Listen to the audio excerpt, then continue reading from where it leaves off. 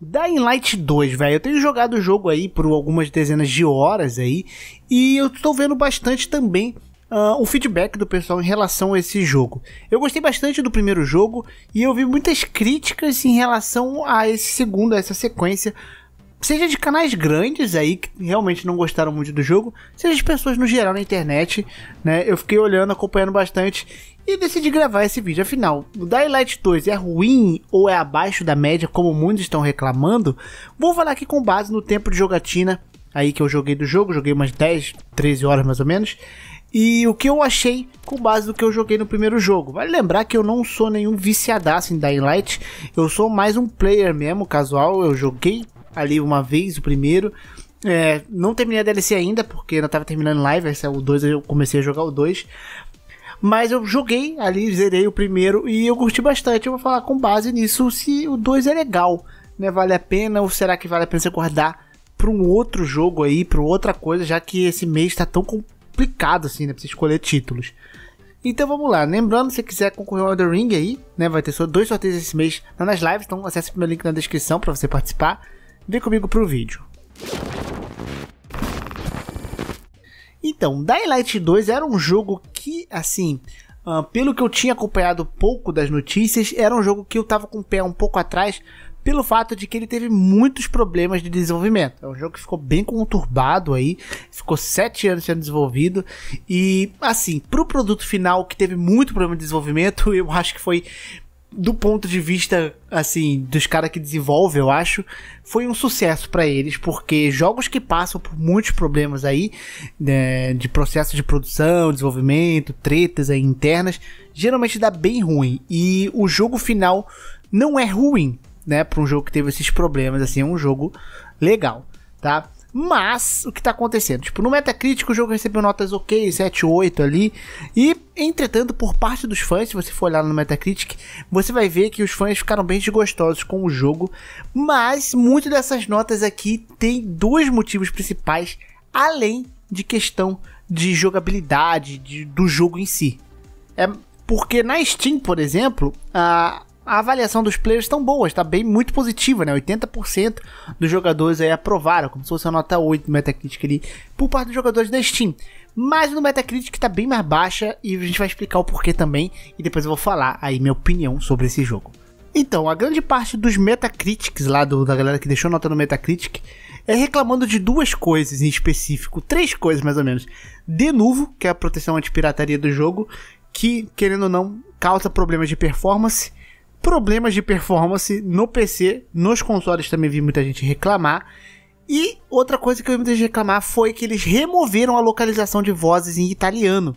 O jogo tinha dublagem em italiano, eles removeram e os italianos foram lá e fizeram um review bomb no jogo por causa disso. O que mostra que, né, o brasileiro, o pessoal fica falando, ah, você tem que aprender inglês, né? O jogo tá, tá em inglês, mas todo mundo tem que falar inglês. Olha aí, os, italiano, né? Os caras ali tem uma porcentagem muito maior de pessoas que falam inglês lá e estão fazendo review bomb num jogo porque não tiveram localização de voz, não teve dublagem, tá? Eu acho que tem legenda, se eu não me engano, mas não tinha dublagens italianas, cara, abaixaram a nota do jogo. O que estrago brasileiro não poderia fazer no Metacritic com esses joguinhos que não vem dublagem, né? Não vem legendado nem dublado. Então, né? Você vê como a gente precisava precisa se valorizar um pouco mais. Então, esses daí são os maiores motivos que eu vi de reclamações do jogo. Agora, né? vamos aqui a, a, a, minha opinião desse tempo que eu joguei, o que eu achei e se realmente tá ruim como os outros problemas que a galera tá falando. Sem ser esses problemas de denuvo, de localização, né? Os outros problemas que a galera tá falando. Uh, primeiro, o jogo ele é um jogo de zumbi, de parkour. E nesse quesito ele está bem parecido com o primeiro. Você tem aquela exploração, você vai pular, tem coisas novas, agora tem barra que você pode balançar, corda, coisa que não tinha no primeiro. Mas tem toda aquela exploração bastante vertical aí que você faz parkour, você escapar de zumbis, você se locomover pela cidade de uma forma mais tranquila. Né? E essa exploração para mim é o ponto chave que deixa o jogo mega divertido e para mim ele continua divertidíssimo de explorar. Eu gosto de ir pra, pra missão porque eu vou ficar indo até lá fazendo parkour e vendo as coisas que tem no mapa fazer. Então, eu ainda achei bem divertida essa exploração e o parkour continua bem legal, bem feitinho, bem preciso. Outra coisa que mudou bastante, que muita gente tá falando, chamando meio que virou meio que jogo da Ubisoft, mas é que o jogo adicionou bastante elementos de RPG. Ele ficou muito parecido com Assassin's Creed atual para mim. E eu sou muito fã de RPG e eu curto esses elementos de RPG. Muita gente não curte, mas, né, na minha opinião, eu acho legal.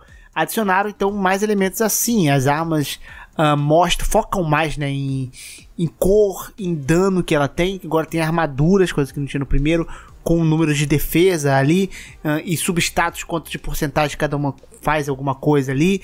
Uh, você pode conseguir melhores, fazer upgrades. Tem também bastante escolhas. O jogo agora tem escolhas que eu ainda não sei o quão elas impactam bem na história ou não, mas de fato tem. E tem escolhas também que são escolhas que não são escolhas impactantes, são aquelas escolhas pra você tirar dúvida com o NPC, né? Ah, mas quem é esse, cal, esse tal cara que você tá procurando? Ah, mas qual a sua história aqui nessa cidade? Você conhece mais sobre os NPCs e personagens. É aquela rodinha ali, bem Mass Effect, né? Jogos uh, de RPG tem. The Witcher, etc. E eles adicionaram isso no jogo. Eu gosto, eu gosto de descobrir mais sobre os personagens, sobre a história da cidade, enfim. E também tem outras coisas que foram elementos de RPG agora, como por exemplo, você fazer upgrade na sua barra de estamina. Você é um cara que tá há não sei quantos anos vivendo essa vida, pulando por prédio e acular, e você tem estamina de um fumante no começo do jogo. Eu achei isso horrível. Só que depois você pega os primeiros upgrades, já melhora bastante, já não incomoda tanto. Mas no início, cara, é horrível. Né? Não faz muito sentido. Então você agora faz esses upgrades na sua vida, na sua barra de estamina, pegando esses itens no cenário, você precisa pegar uma quantidade. Para você fazer o upgrade, você tem as habilidades clássicas ali do jogo, que aí são aquelas habilidades padrão mais de jogos ação, né? Você vai escolhendo, cada habilidade faz alguma coisa. E, bem, é isso. Ele teve bastante elementos de RPG, né? Os inimigos, eles agora têm level, têm HP, e muita gente não gosta disso. Mas isso não é algo que me incomode, né? Muito porque eu curto jogos com elementos de RPG, mas eu confesso que ele ficou muito parecido com os jogos da Ubisoft por causa disso. Né? Agora você tem áreas de facções, coisas que você pode tomar. Então realmente eles puxaram um pouquinho o estilo de mundo aberto da Ubisoft. Que eu não acho ruim, eu só acho que a Ubisoft às vezes é, executa mal algumas coisas, mas em geral não é ruim.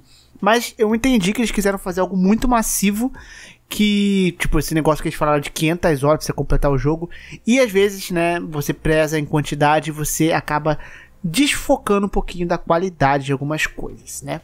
E falando em qualidade, eu acho que a coisa que mais pega até agora é a história, né? A história, por enquanto, não é horrorosa, mas ela é básica. Ela não é aquele negócio, aquela motivação a mais que você tinha, aquela importância a mais que você queria descobrir a história né, do primeiro jogo quando você jogava com Crane. Aqui o protagonista está procurando a sua irmã. Você vai para uma cidade procurar a sua irmã. Então, assim, embora você vai seguindo ali, você vai comprando a ideia do que está acontecendo na cidade, a sua motivação própria do protagonista é algo meio bobo. E no primeiro jogo, por exemplo, tinha momentos que eu me revoltava mais. Aqui até agora, né, nesse tempo que eu joguei, não, não tive momentos que eu me revoltava com a história e tal. A história segue bem basicona, uh, com uma coisa ou outrazinha legal. É, não é horrorosa, não é uma história descartável, mas ela me parece bem mais, mais fraca que do primeiro jogo, né, do meu ponto de vista. Os personagens, pelo menos os que eu encontrei ali, teve um ou outro que são legais. E as sidequests, elas por enquanto também são legais, eu achei interessante. Eu vi muita gente reclamar das sidequests, que depois elas ficam ali repetitivas e monótonas, então pode ser algo que aconteça mais pra frente do jogo. Mas até agora são aquelas sidequests com o mesmo feeling que eu tinha no primeiro. Eu ia, pegava a sidequest para fazer, uh, o motivo da side quest que eu tinha que fazer me interessava. E eu queria lá descobrir mais. Aqui aconteceu parecido. Né? Teve coisas que acontecem. Ah, um burro de não sei quem fez uma besteira, foi lá. Pô, cara, acho que pode ter dado uma merda, aconteceu isso. Você vai lá descobrir. Você entra numa área nova e descobre. E é interessante. Eu, eu acho que as side quests, a grande maioria, né? Parece ser bem feitinha. Teve uma só que eu tive que coletar umas coisinhas ali que eu achei meio tosca, mas as outras que eu fiz de quest, elas até que foram interessantes. Enfim, o jogo ele roda muito nessa coisa de facção, então você pode bloquear coisa para as outras facções, para uma facção, né? E ou para outra facção ali que são os sobreviventes e dos, esqueci o nome, eles são tipo um exército lá. Então você tem esse, esse tipo de coisa, subir torre, liberar área, que ficou tanto Ubisoft também subia torre no primeiro, né? E mais uma coisinha que eu também achei que ficou. Eu acho, eu não sei se eu consigo dizer que é totalmente inferior ao primeiro jogo, que é a noite. É porque a noite no primeiro jogo era muito perigosa. Era perigosa no nível de que às vezes não era nem viável sair à noite. Eu, eu tipo, preferi. Eu zerei quase o primeiro jogo uh, fazendo basicamente as coisas de dia né, do que fazer na noite, porque você tinha os bichos lá que eles ficavam até com um campo de visão no mapa, te deixavam bem mais nervosos. Você basicamente tinha que fazer um stealth à noite, era muito mais difícil sobreviver à noite.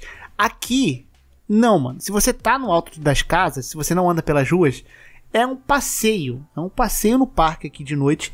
Eu acredito que eles fizeram isso para aumentar o número de atividades noturnas que você tem. Tem bastante atividades que só dá para fazer à noite. Então eu acredito que eles precisaram diminuir essa dificuldade da noite que a gente tinha no primeiro jogo para aumentar as atividades que você faz durante o período da noite. Porque a noite no primeiro era bem complicado mesmo. Mais para frente do jogo que você começava a lidar melhor com ela. Aqui não. Que desde o começo do jogo você pode dar rolê tranquilamente pelo mapa ali, que você quase não vai ter problema. Então, isso aí pode ser algo bom, pode ser algo ruim, porque a noite não dá mais aquela sensação de perigo que dava antes, era bem mais de boa. Mas enfim, eu tô jogando o jogo, eu tô gostando, tá? Não tô achando ruim, nem nada. Eu não sei se mais pra frente essas críticas vão pesar, como a história, algumas side quests, né? Mas os elementos de RPG eles não me incomodam. Um, a jogabilidade ela tá boa para mim. É um jogo que tá me divertindo por enquanto, né? É, assim, se vale você pegar agora, pegar um preço full, cara, só se você tiver como pegar. Porque se, por exemplo, você tá assim, pô, cara, se eu não comprar o Dying Light agora, se eu comprar o Dying Light agora, eu não compro o Elder Ring, eu não compro Horizon, por exemplo. Então, recomendo esperar para ver. Mas um cara que, ah, já tô com meu Elder Ring garantido, dá pra pegar mais um joguinho esse mês, e eu tô querendo muito jogar Dying Light, não vai, não acredito que vai ser uma experiência ruim. Mas se você é aquele cara que não tem dinheiro, eu te garanto que quando esse jogo entrar em promoção, é, ele vai valer muito mais a pena. Porque você pegando ele em promoção, acredito que a diversão dele versus o preço que ele tiver em promoção, dependendo, vai ser bem mais satisfatória. Tá? Mas basicamente é isso aqui, né? É quase uma pré-review aqui do jogo, porque eu tô bem longe de zerar ainda. Mas é isso sobre Dying Light 2. Estou curtindo. E deixa aqui nos comentários se você comprou o jogo, tá jogando, o que, que você tá achando também. É isso, grande beijo, grande abraço, um beijo no popô e fui.